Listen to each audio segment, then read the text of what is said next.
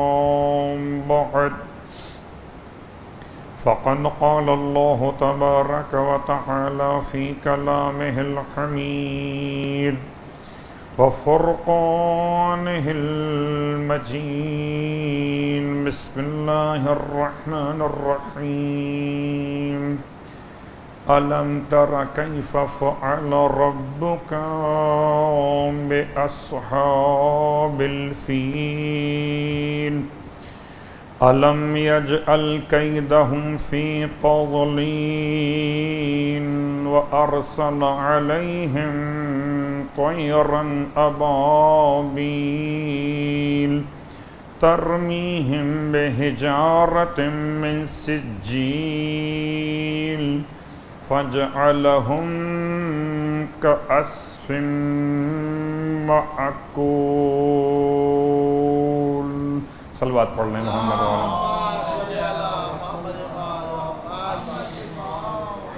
तारीफ़ें उस खुदाए बुज़ुर्ग बरतर के लिए कि जिसने अब्रहा के लश्कर के हाथियों को छोटे छोटे परिंदों की चोंच में मसूर की दाल के दाने के बराबर ज़र्रात से वासिल जहन्नुम कर दिया। और तमाम हद गए दरुद सलाम उन अजवात मुक़दसात के लिए कि जिनकी शख्सियत शक्ल अब्दुलमुत्तलिब में, मक्के में काबे की हिफाजत की ज़मानत बन गई। वजालना अल्हम्दुलिल्लाहिल्लज़ी जअलना मिनल बिलकुरानज़ीम वजअलना वजअलना मिनल मुतमस्सिकीन बेविलायत अली इब्न अबी तालिब अलैहिस्सलाम। अल्लाहुम्मा सल्ली वजअलना वइयाकुम इंशाअल्लाहु मिनत तालिबीन बिस्सअरिल हुसैन मअ अल इमाम अल महदी मिन आल मुहम्मद अलैहिस्सलाम अल्लाहुम्मा सल्ली अला अम्माबाद सामीन ग्रामी कदर हादीन ज़विल एहतराम माह मुबारक रमज़ान की मुबारकबाद आपकी खदमत में पेश करता हूँ तहनीत और तबरीक के इस कैफियत के साथ कि हनी लकुम या इबादल्लाह, आपको मुबारक हो कि आपने आज के पहले दिन के रोज़े की बरकत को हासिल कर लिया। अजलो सवाब के एतबार से रिवायत तो मुसलसल अपने मकाम पर अलबत् रिवायत से ज़्यादा अहमियत हदीस कुदसी के मुक़दस अल्फाज में है कि परवरदिगार ने अपने हबीब को दो ज़रा से अपना मुखातिब करार दिया। एक ज़रिए को कुरान कहते हैं, एक को हदीस कुदसी कहते हैं। दोनों कलाम खुदा हैं। कसम ब खुदा, हमें तो कलाम खुदा ज़ुबान मुस्तफ़ा से मिला। हमें क्या खबर कलाम खुदा क्या होता है? इसे मुस्तफ़ा कलाम खुदा कह दें।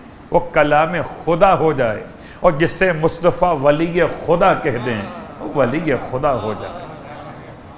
अजीब मुसलमान की मंतिक है कि कलाम खुदा को मान रहा है और वली खुदा को मानने में तामल कर रहा है। ज़ुबान तो एक ही है मुस्तफ़ा की। इस एतबार से हदीस कुस्सी में इर्शाद फरमाया, परवरदिगार ने और फिर बयान किया सरकार ख़त्म, ये मरतबा सल्लल्लाहु अलैहि वसल्लम।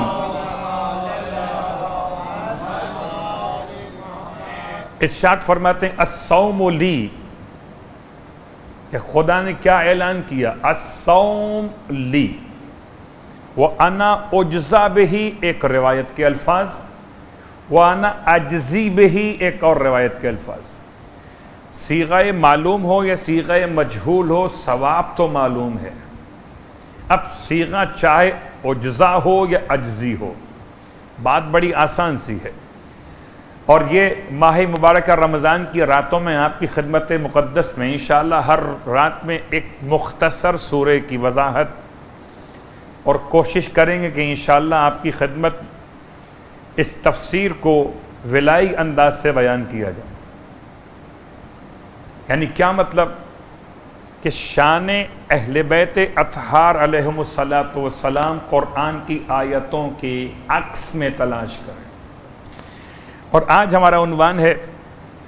इस हदीस के साथ साथ जो आपकी खिदमत तलावत की गई असौमली खुदा फरमाते रोज़ा मेरे लिए है और मैं इस रोज़े की जजा बन जाऊँगा। यानी परवरदिगार खुद जजा बन जाएगा। बस ये समझ लीजिए इसे खुदा मिल गया तो अवतार मिले कि ना मिले? इसे खुदा मिल गया तो खुदाई मिले कि ना मिले? जिसे खुदा मिल गया तो खल के खुदा मिले या ना मिले? खुदा मिल गया तो किसी और के मिलने का इंतज़ार तो ख़त्म हो गया। इस एतबार से सरकारी सैदुलशहदा इमाम हुसैन सलाम का वो जुमला।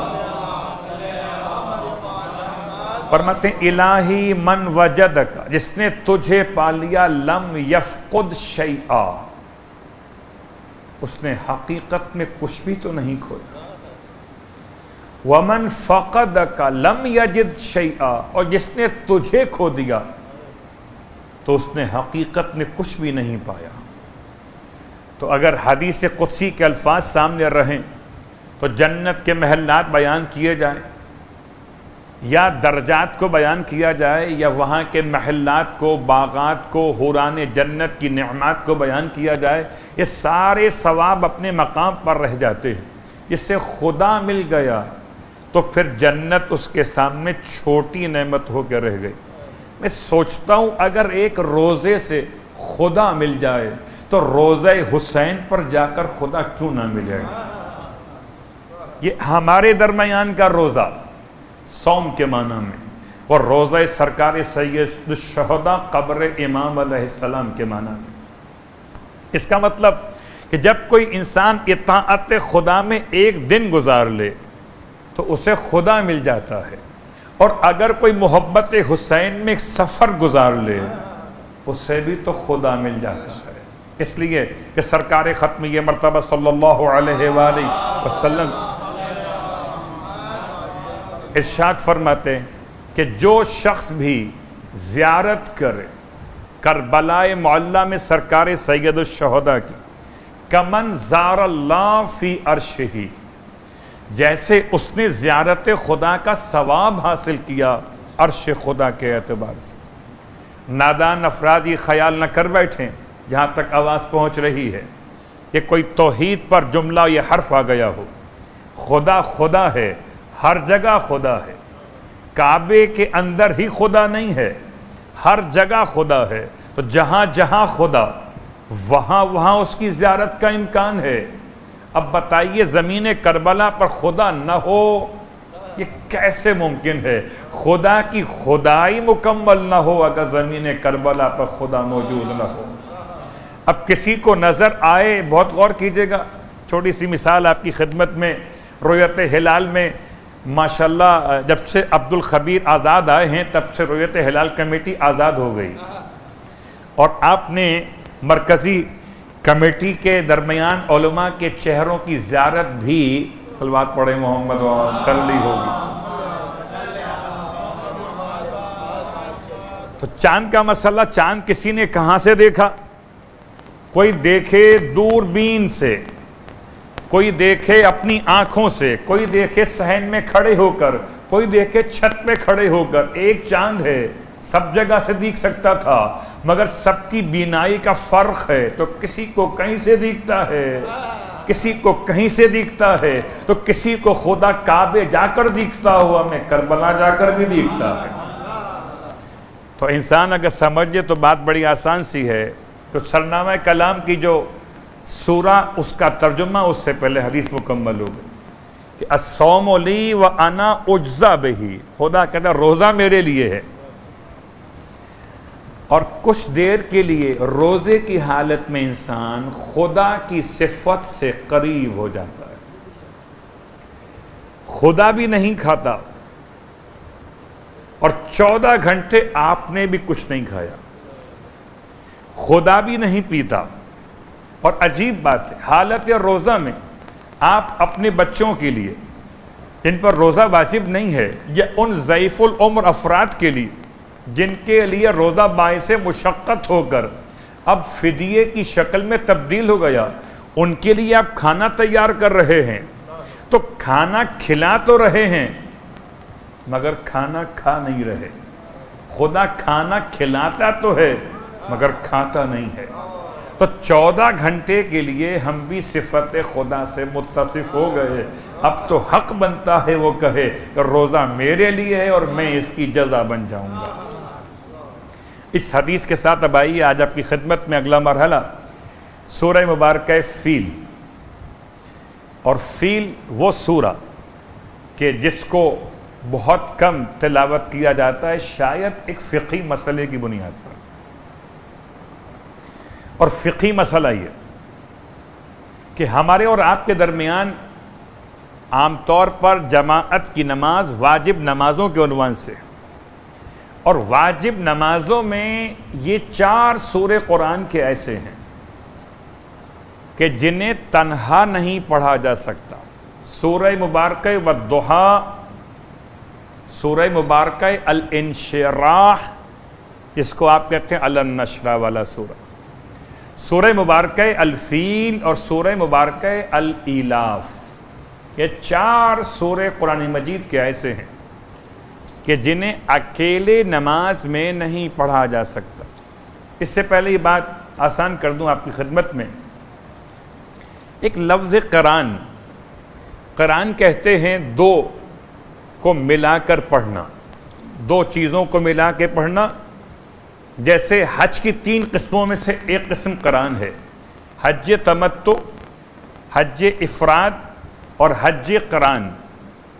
तमत्तो तो आप जानते कि 90 किलोमीटर से बाहर रहने वाले मक्के के बाहर के अफराद के लिए हज तमत्तो के नाम से।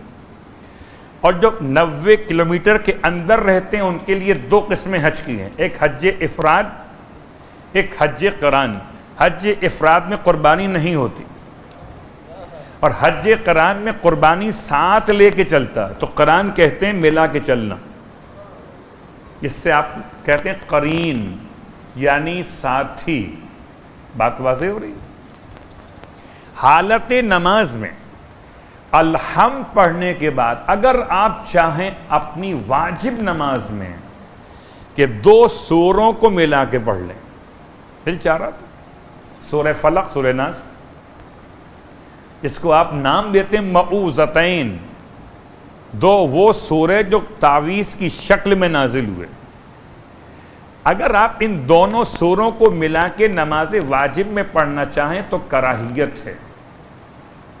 और बाज महाराज उज़ाम ने इससे मना किया कि एहतियात वाजिब है कि अलहम के बाद एक सूरा कामिल पढ़ा जाए बस।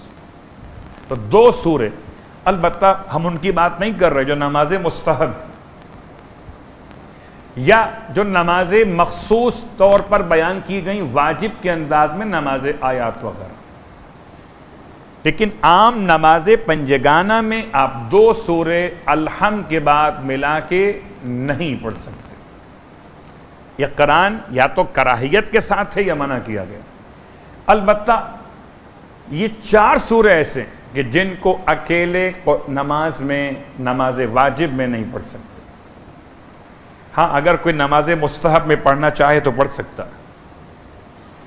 मैंने कोशिश की कि मैं नमाज़ मगरबैन में कम अज़ कम अपने घर की हद तक की तरबियत करूँ, कि मैंने ये दो दो सूरे मिला के पढ़े। तो बाद में घर में बच्चों ने जमात के साथ सवाल किया कि ये आज नमाज़ तूलानी नहीं हो गई? तब मुझे समझ में आया कि अगर मस्जिद में ये होता तो लोग कहते मौली साहब, आज नमाज़ ज़्यादा ही तुलानी होगी। सलवात पढ़े, मोहम्मद वाले, मोहम्मद।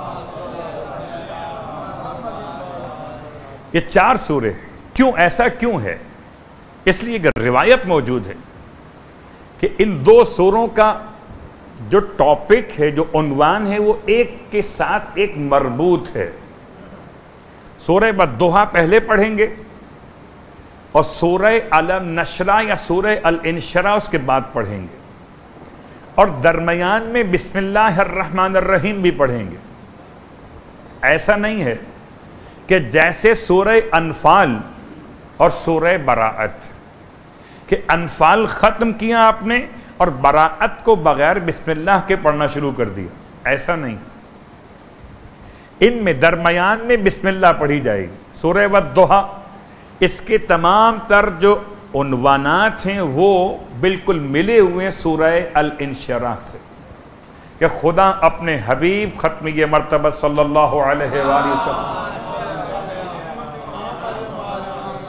वह अम्मा बे नमत रब का फहदिस आखिरी जुमला सूर्य वदोहा का। और तुम अपने रब की नेमतों को, जो तुम्हें रब ने दी हैं, उन्हें बयान किया करो, उन्हें दिखाया करो। और उसके बाद सूरह अल इंशरा की पहली आयत, अलम नशरह लका सदरक क्या हमने तुम्हारे सीने को कुशादा नहीं कर दिया। तो कोई नेमत का बयान ऐसा था इसे खुदा ने पहले सीग अम्र में रखा फिर उसको बयान करने के लिए पैगंबर के सीने को कुशादा किया गया। तो जब तक ऐलान सामने ना आ जाए तो पैगाम मुकम्मल कैसे हो? इसलिए ये दोनों सूरे नमाज़ वाजिब में अगर पढ़ना चाहें तो कभी कोशिश कीजिए, खुद से पढ़ लीजिए। इमाम जमात का मसला अलग इमाम जमात को तो देखना है कमज़ोर अफराद को। हो सकता है कि कोई ऐसा हो जिसका वज़ू का मसला हो। आपने इन्ना आतना पढ़ते तो शायद इसका वज़ू बाकी रहता। आपने सूर्य व दोहा पढ़ लिया, फिर सूर्य अल इंशरा पढ़ लिया तो उसका वज़ू ख़त्म हो गया।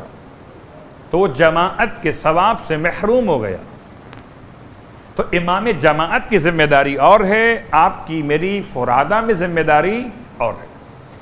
अब रहा मसला ये दो सूरतें सूर्य फील और सूर्य इलाफ आज हम आगाज़ कर रहे हैं सूर्य फील से, मगर पहले जब इन दोनों को मिला के पढ़ा जाएगा तो बीच में बिस्मिल्लाह पढ़ी जाएगी। आखिरी आयत है सूर्य फील की, का असफिम माकूल। और सूर्य अल इलाफ कहिए या इलाफ कहिए? ले इलाफिम रहलत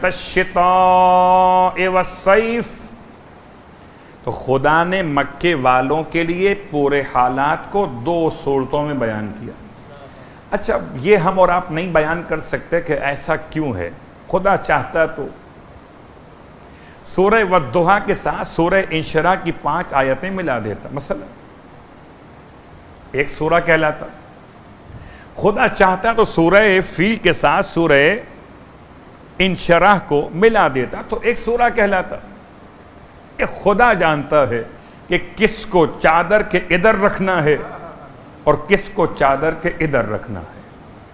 हमारी और आपकी हैसियत बस इतनी सी है कि जैसा बयान किया गया बार रिवायत इमाम सलाम ऐसे पढ़ लिया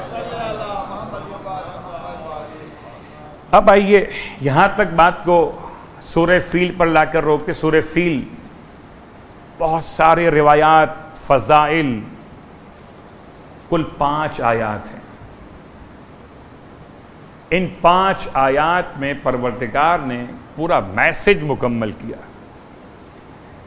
पहली बात तो याद दिला दूँ कि इस सूर्य के फ़जाइल में ख़ास फजीलत है दुश्मन को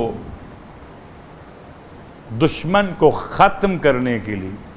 मगर दुश्मन से मुराद, ऐसा दुश्मन, इसका ताल्लुक़ अहल बैत के मानने वालों से न हो। ये बात याद रखिए।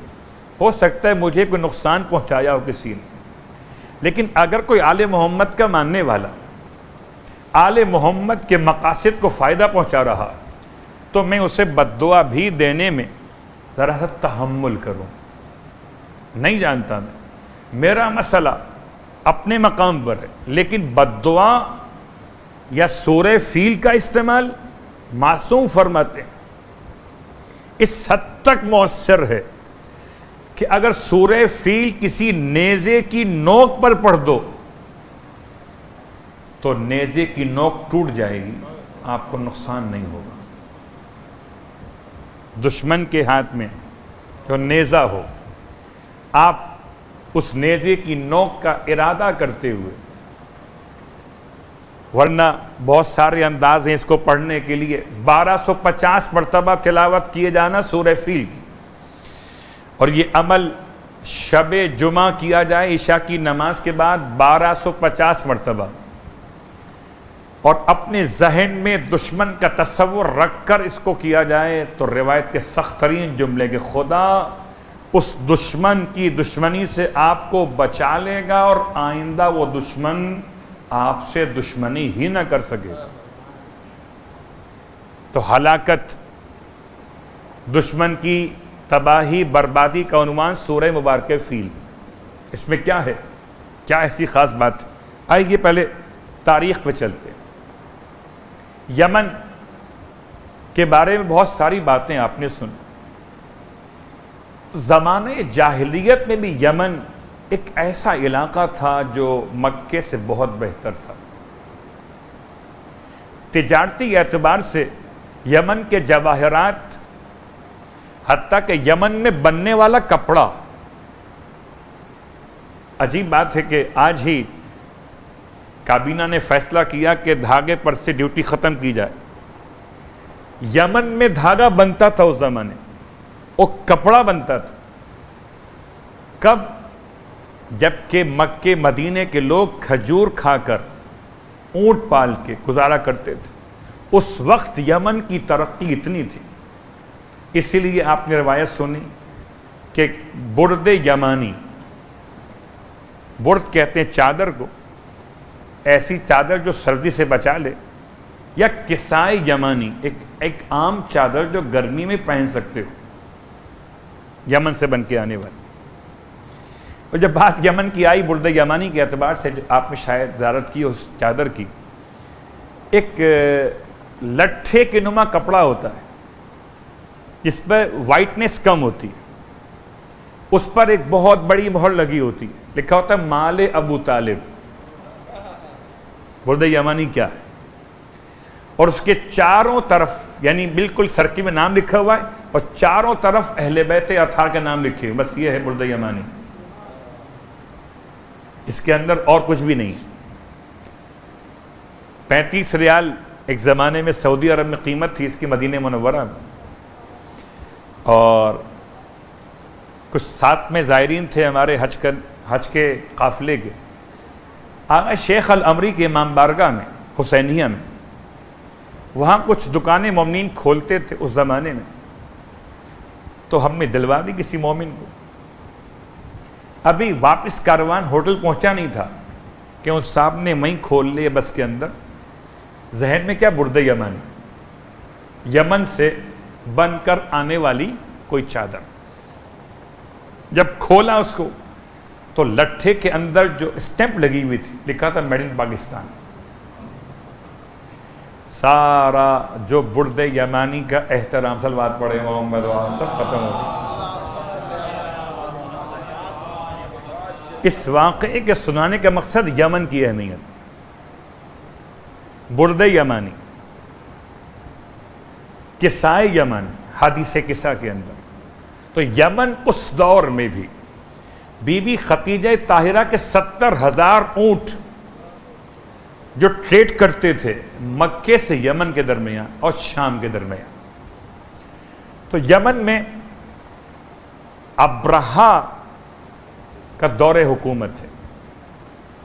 बास कहते हैं, ख़ुद अब्राहा वज़ीर है, असलन यमन के हर बादशाह को नजाशी कहा जाता था। अब्राहा असल में उसका एक वज़ीर था। अब्राहा के बाप का नाम था सबाह। और आगे था अल अशरम कुनियत थी अबू कैसूम, ये वज़ीर, जिसको अब लोग कहते हैं यमन का बादशाह। बादशाह नहीं था, वज़ीर था। और अब कहते हैं, ये खुद या उस जमाने में यमन का बादशाह नजाशी। ये दादा था उसका कि जो पैगंबर के ज़माने में इस्लाम कबूल करके, जिसके पास जनाब जाफ़र तैयार ने पहुँच के पना ली थी, जिसने इस्लाम कबूल किया था। जिस नजाशी बादशाह की मैयत को ख़त्मी मरतबत ने मदीने में रहते हुए जनाजे की नमाज़ पढ़ाई थी। ये उसका दादा था। अजीब बात नहीं है। ये पोता और ये पोता, वो दादा और वो दादा। वहाँ अब्दुल मुत्तलिब दादा वहाँ नजाशी का दादा, वहाँ अब्दुल मुत्तलिब का पोता ख़त्म ये मरतबा सल्लल्लाहु अलैहि वसल्लम। यहाँ उसका पोता। ज़रा सा पस मंज़र वाज हो गया कि अब दो रिवायात हैं तारीख़ी एतबार से कि हुआ क्या है? ये यमन पर मसला हुआ क्या था? कि एक तो यमन के बादशाह का मिजाज ये था कि उसने एक कनीसा बनाया था इबादत खाना।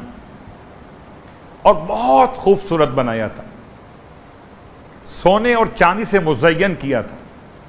वो चाहता था कि काबे के हज का जितना प्रॉफिट है, खाली हज नहीं होता, आज भी, और उस ज़माने में भी खाली हज नहीं होता था, बल्कि बाकायदा बाज़ार और मेले लगते थे। नहीं बहुत बड़ी एक तिजारती मंडी थी हज के नाम से। असलन उसने जाके पूरी मंडी को मक्के से निकाल कर यमन ट्रांसफ़र कर लिया जाए। नादान समझ रहा था कि शायद लोग पत्थर के घर की ज्यारत को कम आ, आ, आते होंगे जब हम सोने का बनाएँगे तो ज़्यादा आएँगे। उसने सोने का घर बनाया। खुदा के घर के मुकाबले पर। अब तो समझ लीजिए, अगर खुदा का घर पत्थर का बना हुआ हो और तुम सोने का बनाओ तब भी खुदा के घर के घर का मुकाबला मुमकिन नहीं है। जब दीवारों का मुकाबला मुमकिन नहीं तो फिर अहले बैत का मुकाबला कैसे मुमकिन? तो बैत के मुकाबले पर बैत बनाया गया। ये बैत पत्थर का बना था, वो बैत चांदी और सोने का बनाया गया। हुआ क्या? कहते हैं कि वहाँ एक शख्स बनी के नाना का, मक्के से। यमन आया हुआ, लोग आते जाते थे यमन। और दो किस्म के जुमले या तो पूरा काफिला था जो कनीसा में गया, और खाना पकाने के लिए आग रोशन की और आग को जला हुआ छोड़कर काफिला चला गया। थोड़े से कोयले चिंगारियाँ थीं हवा तेज चली तो उससे आग लगी और पूरे कनीसा में लगे पर्दे जल गए। जिस पर यमन के बादशाह ने गुस्से में आकर पूछा, किसने किया ये? का काफिला किनानियों का था जो मक्के से आए थे? तो क्या अब मैं मक्के वाले घर को जला दूँगा, तोड़ दूँगा, गिरा दूँगा, इंतकाम में। या एक उससे भी कभी रिवायत मिली कभी तर रिवायत।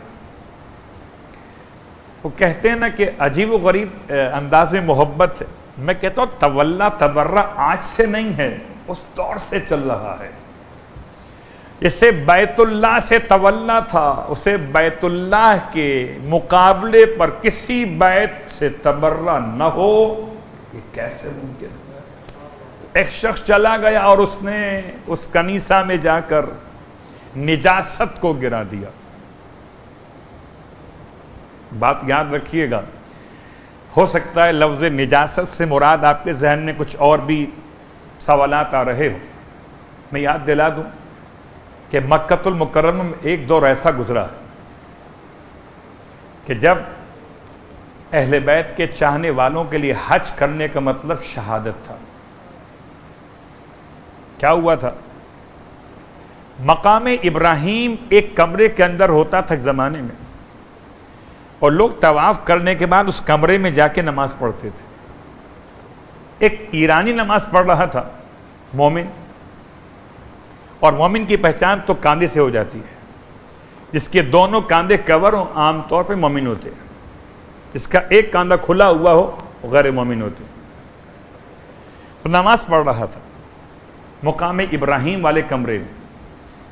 कि कुछ कारवान की औरतें हफ्शा के रहने वाली, अफ्रीकन ख़वातीन का एक पूरा काफिला एकदम दाखिल हुआ, छोटा कमरा था, हफ्स हो गया।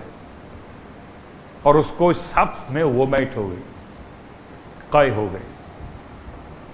उसने अपनी एहराम की ऊपर की चादर को उतारा, उसमें उसको कवर कर लिया कि ताकि ज़मीन मस्जिद हराम में मकाम इब्राहिम वाली कमरी ख़राब ना हो। अब वो उसको लपेट के बाहर निकल रहा था कि किसी शख्स ने उसे देख लिया। अच्छा ये हमारे हरम को नजिस करने आया था, क्योंकि उनकी फ़िका में वुमेट जो है वो निजासत में शामिल है। वुमेट जो है वो शामिल निजासात है। बस उस गरीब की शहादत लिखी थी। उसे सफ़ा मरवा के दरमियान बीच में ज़िबा किया गया। और उसके बाद से लोगों ने पूरे मक्के में तलाश कर कर के ये वाक़ात पेश आए, जहालत का मसला आपके इल्म में आ गया। ये किसी मकतब की मजम्मत नहीं, ना किसी मकतब के हवाले से कोई और बयान, ये जहालत का मसला तो निजासत क्या हो सकती है? एक सवाल आपके सामने वाजे हो गया। यमन में जो इबादत गाह है ईसाइयों की, मरकजी इबादत का, उसमें कोई मक्के वाला चला गया और उसने ये हरकत कर ली वो तो चला गया बचकर। इत्तफाक से इबादत के लिए आ गया खुद अबराहा, यानी उस जमाने का हबशा का बादशाह कह लीजिए, कि जिसने इस पर आकर जब देखा कि अजीब कैफियत, किसने किया ये? तो कहा गया कि ये किसी अरबी का काम है। आपको तो अंदाज़ा है कि ईसाई लंबा जुब्बा नहीं पहनते। ये लंबा कुर्ता जो है, ये अरब पहनते, ईसाई नहीं पहनते। तो वो जो गया, उसने काम किया। बस फैसला हो गया। अब चढ़ाई कर देनी। तो ये वज़ीर है, इसका नाम था अबरहा बिन असबा अल अशरम इसने पूरा लश्कर तैयार किया और हाथियों को साथ लेके चला। अभी तक तो हमने पस मंज़र बयान किया, यमन हफ्शा और मक्तुल मुकर्रमा के हवाले से। अब आयत का तर्जुमा गौर कीजिए, अलम तारा कई रब्बु कब असहाबिल फील? या अलम तरा जो इस्तेमाल हुआ, अलम या अलम के माना में इस्तेमाल हुआ? इस्तीफ़ा में इनकारी है कि परवरदिगार अपने हबीब से कहता है, क्या आप ये बात नहीं जानते कि आपके रब ने हाथी वालों के साथ क्या किया? मैंने एक आयत का तर्जुमा किया और फिर जब अब्राह ने मक्तुल मुकर्रमा का इरादा किया, किस तरफ़ से आया? अरफात व मुजदलफा व मिना के इलाके से आया। पहले अरफात पहुँचा, फिर मुजदलफा पहुँचा, फिर मिना में पहुँचा।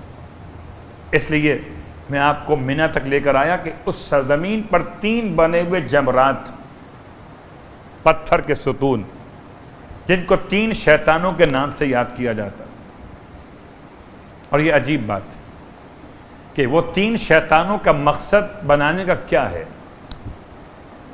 मैं कहता हूँ, अगर ज़माना बहलूल का हो और इमाम आज़म को ये बात समझ में ना आए कि शैतान आग से बना है तो आग में जलेगा कैसे?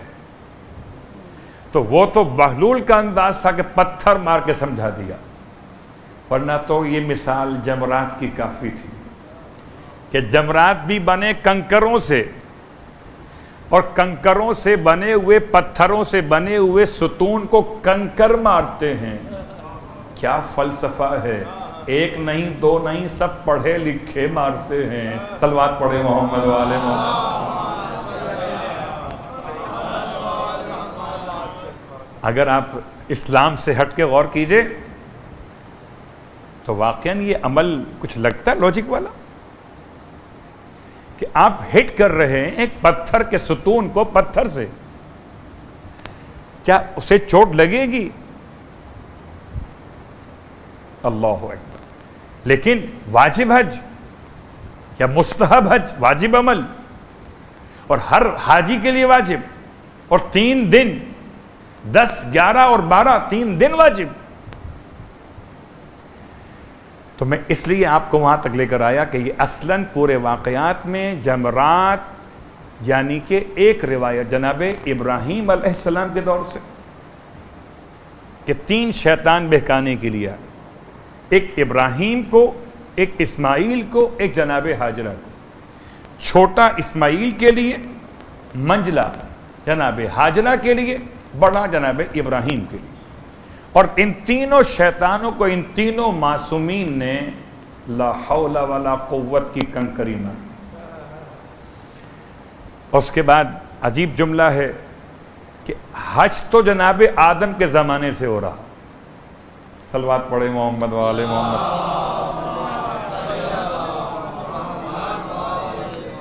अब मैं अपने ही सवाल में खुद ब खुद तफसील बयान करता जा रहा हज की इब्तदा ना तो जनाब अब्दुल मुत्तलिब के दौर से है, ना हज की इब्तदा जनाब इब्राहिम के दौर से रावी का नाम था अबू बसीर, इमाम की खिदमत में बैठे हुए। और इर्शाद फरमाते, मौला, हज के मसाइल जब बयान कर रहे थे, बयान करते करते चालीस साल हो गए। हज के फ़िकी मसाइल छठे इमाम ने चालीस साल बयान किए।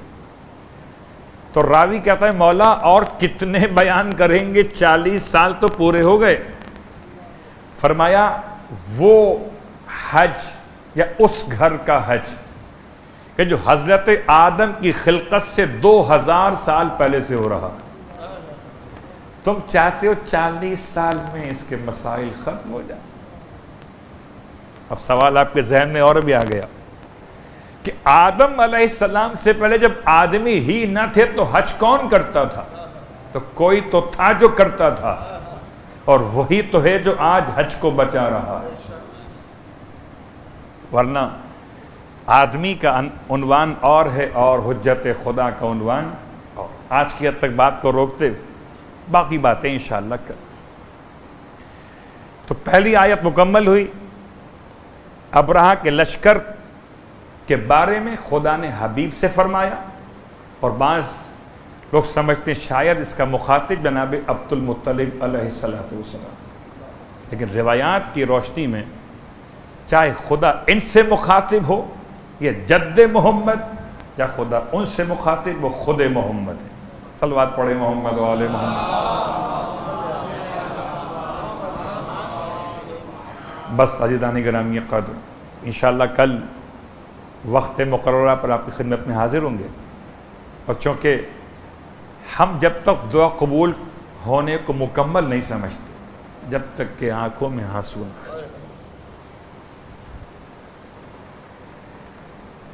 और कितना मुश्किल तरीन वक्त कि जब मक्के पर हमले का इरादा किया गया। कैसे लोग थे जो मक्के को छोड़ के चले गए? सिवाय अब्दुल मुत्तलिब और आपके खानवादे के। मक्के में कोई मर्द और औरत बाकी नहीं बचा था। लेकिन मैं कहता हूँ, घर पर वक्त आए, तब भी औलाद अब्दुल मुत्तलिब। और खुदा के पैगाम पर कोई वक्त आए, तब भी औलाद अब्दुल मुत्तलिब। हाय करबला, क्या गुर्बत थी सरकार सैदुलशहदा की।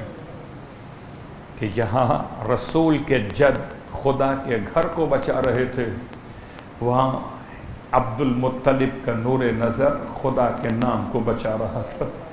और वक्त गुरबत यह था कि इमाम फरमाते थे, हल मिन्ना सिरन है कोई जो हमारी मदद को आएगा?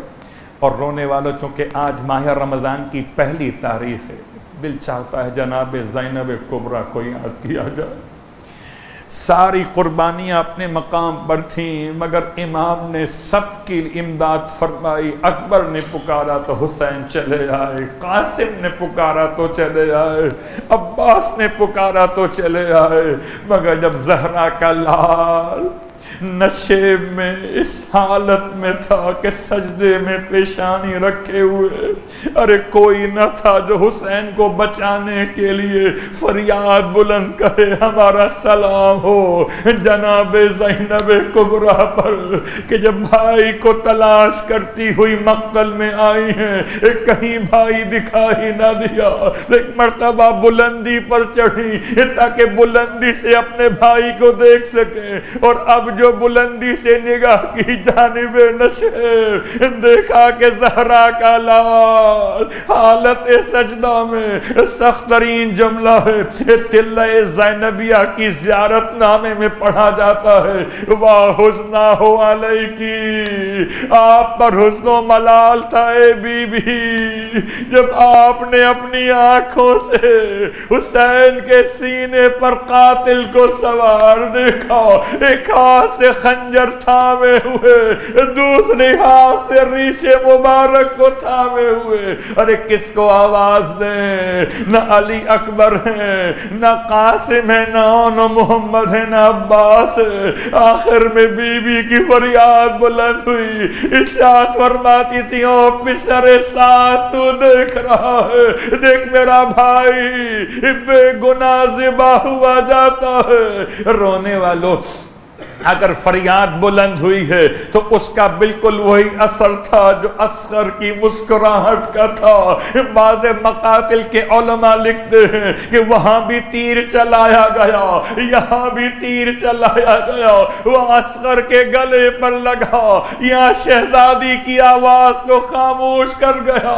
बीबी गश खा के गिर पड़ी, होश आया तो आदिया चल रही थी। मुनादी कह कहता था अलकद कुतिल हुसैन में करबला अलकद सुबह हुसैन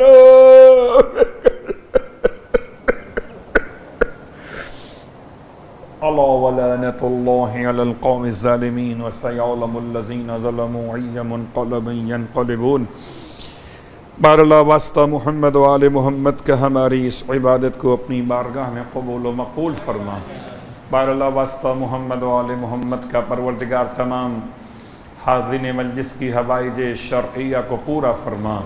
बारला वास्ता मोहम्मद वाल मोहम्मद का परवरदिगार हमारे मरहुमीन की मगफरत फरमा। बारला वास्ता मोहम्मद वाल मोहम्मद का तमाम तर अहल ईमान को, अहल इस्लाम को, तमाम तर इंसानियत को वबाओं से महफूज फरमा। परवरदिगार, इस साल भी हज के आसार मालूम होते जा रहे हैं मालिक। जो कितने ऐसे अफराद जो हज के मुतमनी बैठे हैं दुनिया भर में मालिक, तमाम के लिए हज के रास्ते खोल दे। बारला वास्ता मोहम्मद, वाल मोहम्मद का हम सबको अपने घर का हज नसीब फरमा। इस साल भी और आने वाले हर साल में, ए परवरदिगार, अमीर हज इमाम ज़माना के साथ नसीब फरमा। परवरदिगार, हमारे इमाम को हमसे राशि व फरमा।